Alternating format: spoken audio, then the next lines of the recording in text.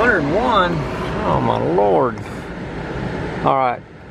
I anticipate that they are going to start generating power at the Whitney Dam any minute now.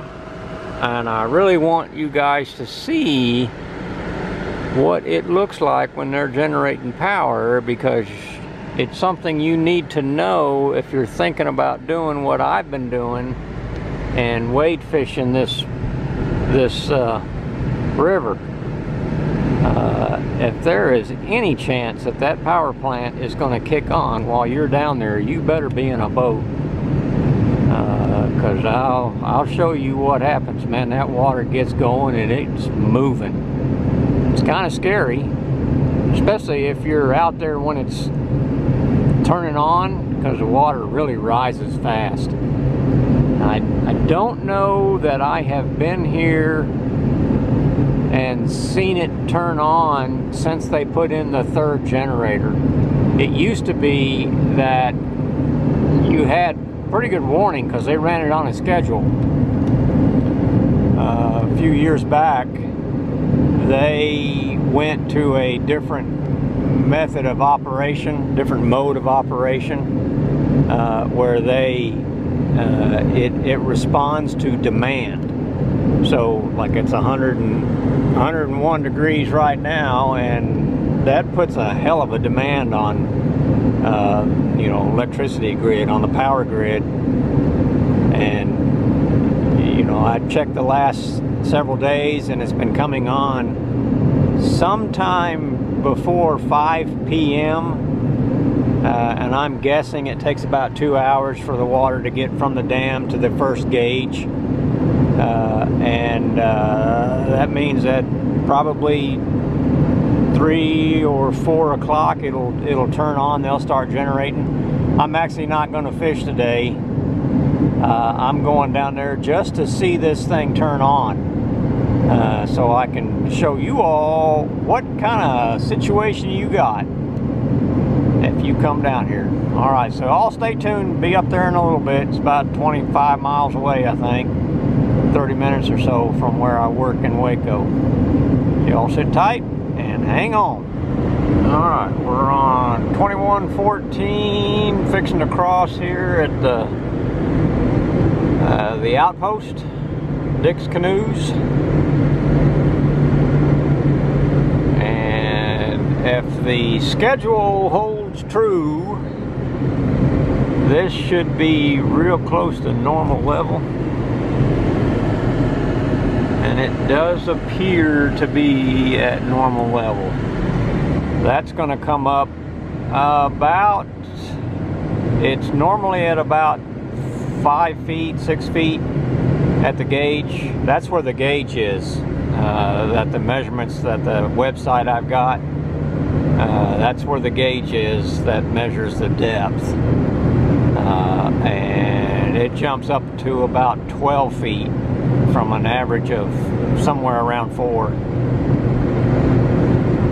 uh, when when it's just normal low. All right, next stop is the dam.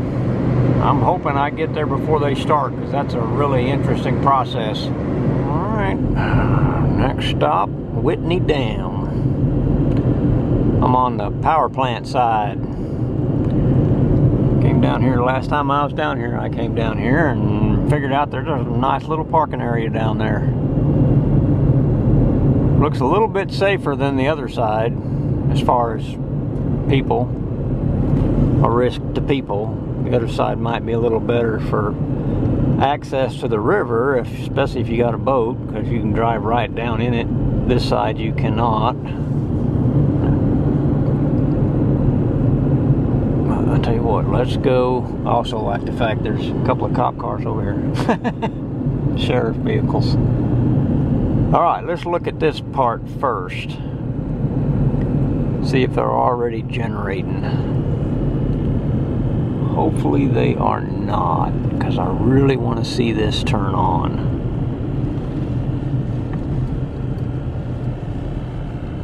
All right, they are not generating power yet. Great. That is great. And I really do expect it to turn on any minute.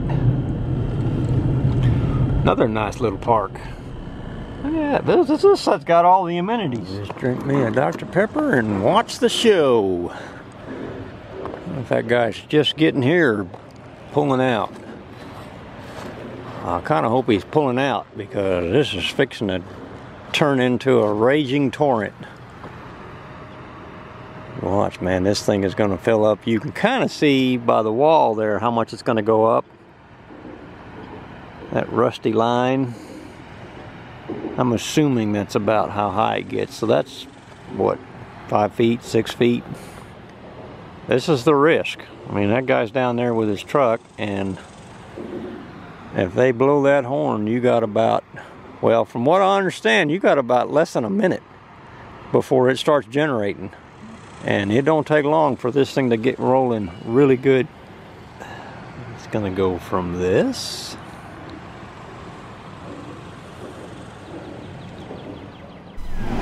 This is not power generation, that's flood control. The lake was very high in 2016 and in 2015 for that matter. But this just gives you a good idea of just how much water can flow over that dam. I really wonder if solar and wind power generation isn't part of this dynamic because it is hot as the dickens today. It's sunny, so solar's still working, but there's hardly any wind. So I would imagine that if you correlate the last several days and you look at the wind, you'll find that uh, it's been extra hot and no wind. So they turn this on to compensate for the fact there's no wind. That's my theory anyway. Used to be able, used to be able to come all the way up in here, wanted to, but then they added, I, I believe that when they added the third generator and they made it an on-demand response, so there was no schedule. Uh, it just comes on when it's needed. I believe that made this whole area, that's when they checked this whole area, made it off limits. You cannot go down there. But you can go down here, I think. I believe you can get on that little pier. It used to be, I've seen people fish there before. But this whole area is restricted can't go in there. Of course, it ain't got no depth to it anyway, so there's probably no reason to come up in here.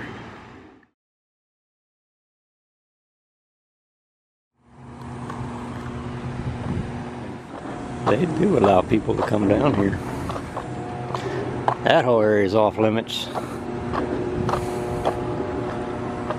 This is what is left as an opportunity for the fishermen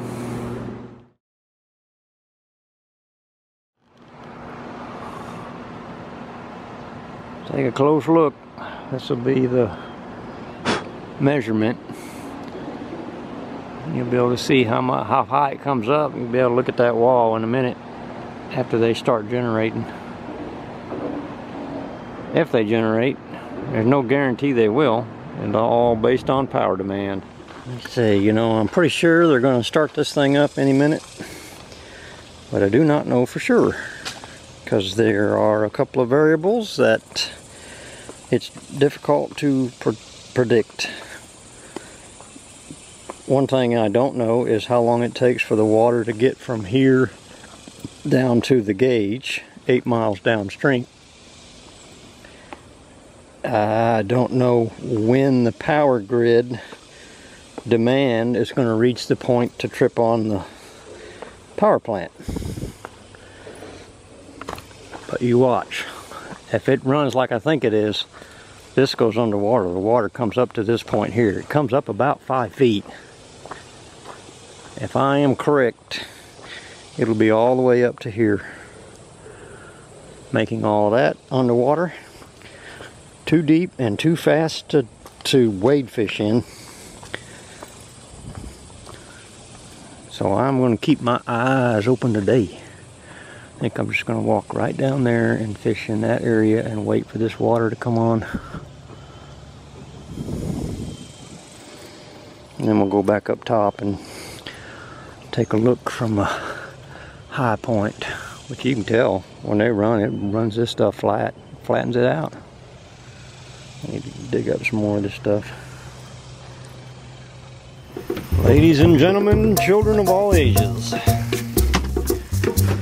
we are gonna go catch some fish. Think about this.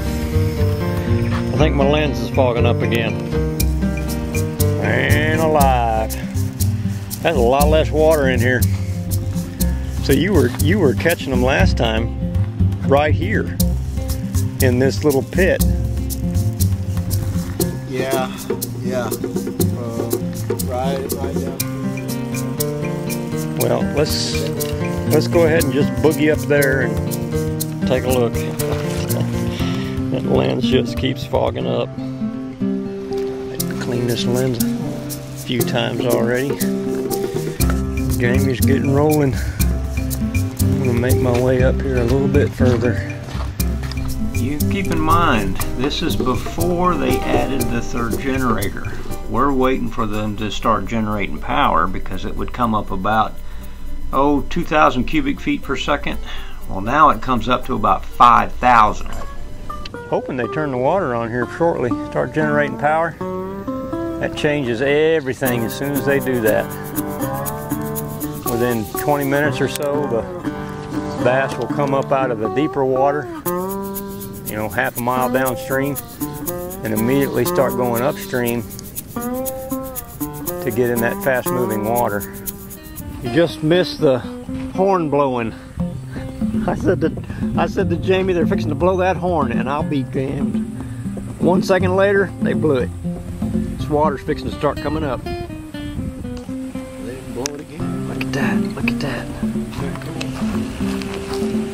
But uh, when when they start generating Look at that water. up there at uh, on the white, I their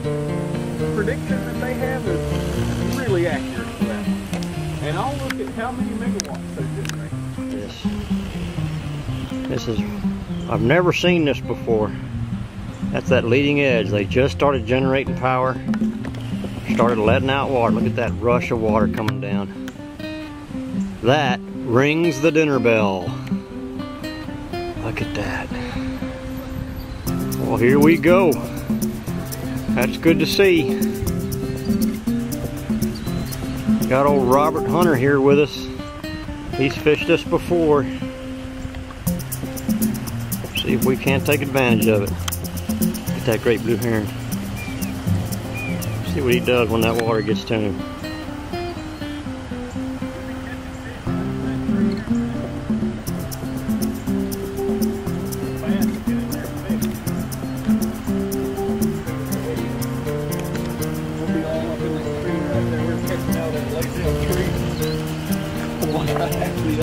Right here? Yeah. Wow. Well, you see where the mud is? That's where we were fishing yesterday. Really? So it's going to get that high? Yeah. Yeah, were running 2,500. Uh, 2,500. Yeah, it's going in. Oh, yeah, it's still all green. This doesn't have very steep grade to it. So it doesn't, No. it doesn't drain real fast, so backs up a bit. Like Texoma, they shut it off up there. It takes two hours for it to go down. Back against this stuff. Yeah, good thing you wouldn't be down there yet,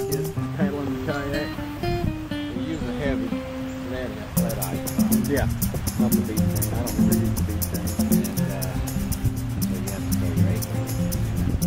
Yeah, I'll throw that shoot. I'll throw those things on my three. Oh yeah. You go. Sand bass, that's a uh, size six chartreuse and white. I, I'll preach those all day. That's about all I use for sand bass. These respond really well to salt water. So, have you ever seen like a baby blue neon colors, pink and white. They don't start coming over and catch fish out of that tree. real fast. They're just in there by the pond, stuff like that. Man, I- you can second get corn right over here out these Yeah, over there. Yeah, it'll start clearing up in a few minutes. That flow gets bad, it'll get up there. Just changes where the fish will be. Yeah still coming up, isn't it? Yeah.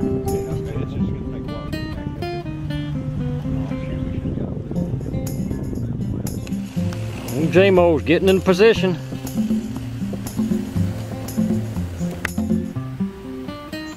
This is about as high as the water's gonna get, we think. We're gonna get out there and see if we can't find some stripers. I don't know if it's still coming up or not. I suppose it is. Still coming up. From what I've been little told, over top of the rocks. The water comes up one third on more than side. it did. So that's about a three Nice foot rise. Now it comes a- up about five little feet. striper does it on the fly rod, but I kind of cheated because I was trolling it. That's a nice one. Got a good one. Robert got a good one. Put him on the reel even. Bring him in, Robert. Bring him in. Woo, it's a good one.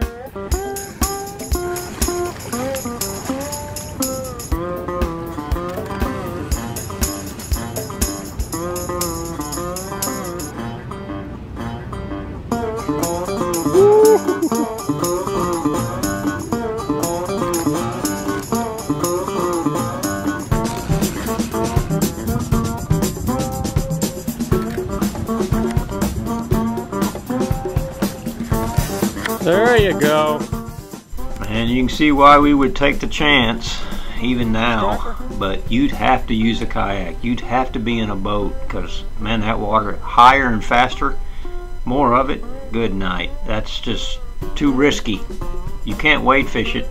That whole area where we're standing and fishing is off limits now, and for good reason. Let me tell you, you don't want to be down there when that water kicks on. It is a dangerous situation.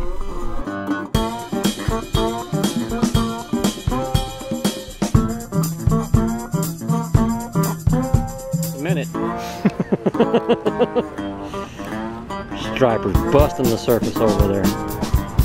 Every once in a while they come up, pow, pow, pow. Those guys double up while I move to the other side. You rascals. It's alright, man, I'll get one over here. Hold that dude up there.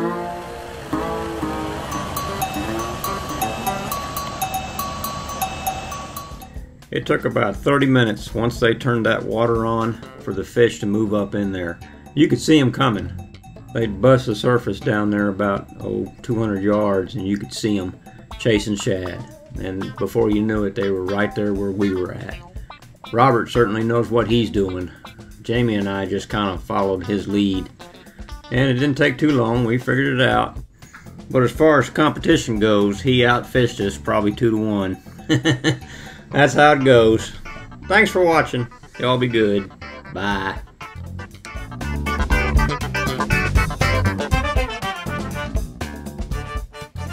First goop. Close range, man. Close range. There's a bunch of them in here and they're starting to feed fairly well.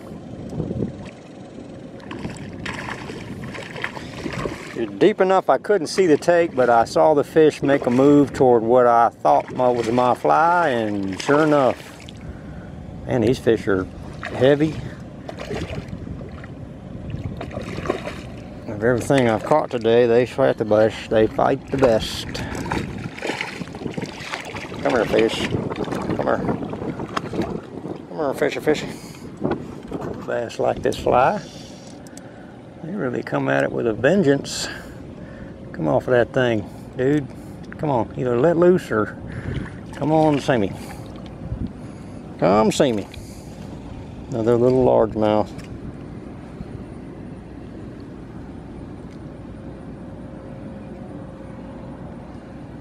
That's the biggest reason you want to bring your dang little clippers. Little snippy things. There it is. Oh, I'm done. Goodbye. Thanks for coming. Well, I really thought they were going to run power earlier today than later. You know, kind of glad they didn't, but I kind of wish they would have so I could see what it what it looks like. the, the danger that's involved with fishing like this.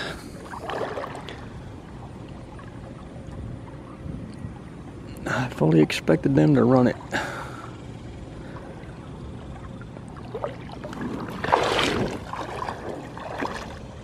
Okay, let's see if we got any more sight fishing.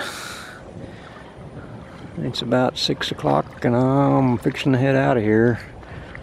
It's a two hour drive to the house, so two hour plus. And I'm gonna go the back way. Man, I don't see any fish up here. All right, well, I didn't come prepared mentally to fish. I came only to film.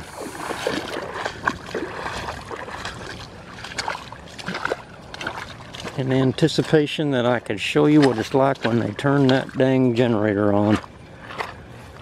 And they may still, they may still do it, but I think the other pattern they usually turn up, it's closer to midnight. They begin to generate power because the water comes down about 5 a.m. Starts down at 5 a.m. What do we got? Scissors. Yep. Pair of scissors. Well, all right. Well, that's fun having you along, you know, even if it is after the fact and on the internet. It's still fun. Maybe they'll generate power by the time I get up and out of here. I'll pass by the dam, but I gotta roll, baby. I hate to drive all night long. Puppy dog way back there. Neat place. Great fishery. Well, let's head to the house. Up the stairs and back to the house. This side's cool, man. This side is cool.